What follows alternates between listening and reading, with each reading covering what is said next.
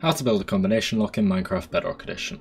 So let's get on with the tutorial. So to get things started what you want to do is place 1, 2, 3, 4, 5, 6 and 7 blocks like so, then 1, 2 blocks like so, and then bring that across and then place another block there, and 1, 2, 3, 4, 5 blocks of your choice there, and then 1, 2, 3, 4, 5 levers. Next you want to decide what your combination is going to be. Once you've decided, you want to place a redstone torch on the levers that you want to flick down. You can make this anything you want, but I'm going to go with 1, 3 and 4. Next what you want to do is place a block underneath the two that don't have redstone torches on, and then a redstone repeater facing in that direction with a block up like that on both of them. Then connect everything with redstone dust like so. Then add another three blocks to the end and place your door in an open state like that. Then run your redstone into the back of it and it is done. As you can see when we put down levers 1, 3 and 4 the door will open, however if we do any other combination it will not. Thanks for watching, subscribe.